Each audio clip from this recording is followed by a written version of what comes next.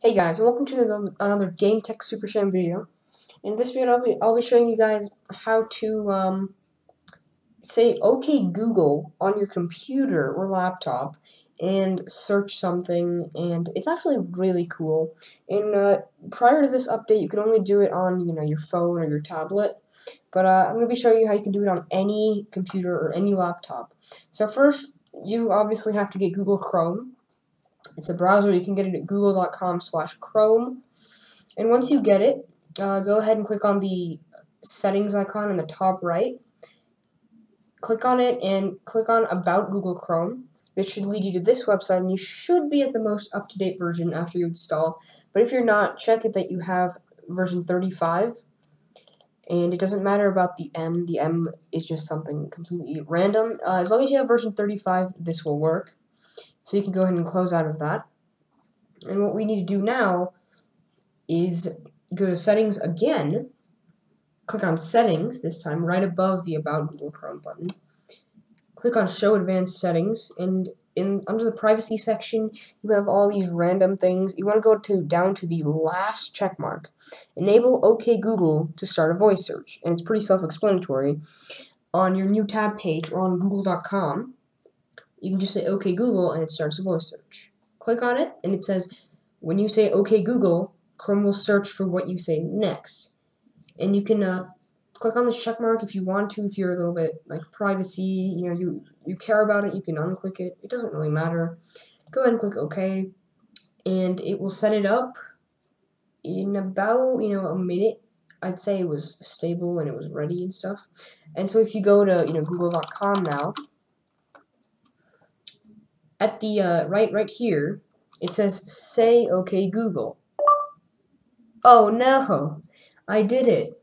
And if you say that, according to Wikipedia, I don't know who that was, but if you say that, then it will um just search for what you say next. For example, let's say you're doing a research project and you're like, okay Google, what is a dog? Here are the listings for Dollar General near Bono as you can see, it didn't really work. It's not as reliable as a phone or a tablet, but okay, Google, what is a dog?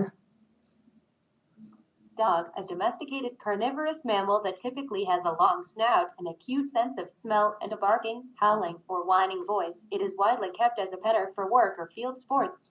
So clearly, it's pretty good. It, even, it even explains what the thing is, just like on you know your mobile device. You can scroll down, you can take a look at stuff, and then let's say you're like, wait a minute, I want to know what a cat is. You can just in the middle of the page, all of a sudden say, okay, Google, what is a cat? Cat, a small domesticated and carnivorous boom, mammal. It explains to you what a cat is. And uh, you can do this from the new tab page as well. Okay, Google, What's a dog?